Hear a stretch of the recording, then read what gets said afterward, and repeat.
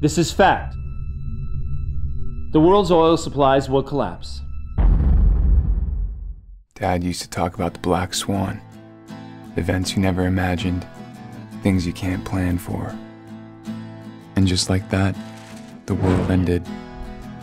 Early on, people left the violence and starvation of cities for smaller towns. Then the pumps went dry. Some claim God's wrath.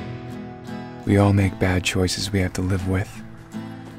But once in a while, you get a chance to make it right.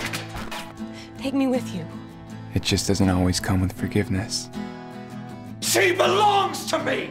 They all belong to me! No! We need shelter. You make your choice, and you don't look back. You never look back. Have you seen a young couple and a little dog passing by? Now think carefully before you answer. I know where they are.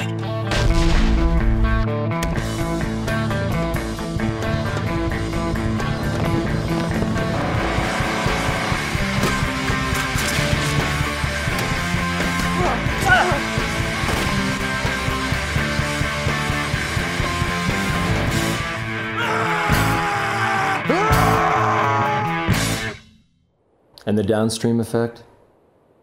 It will be bad.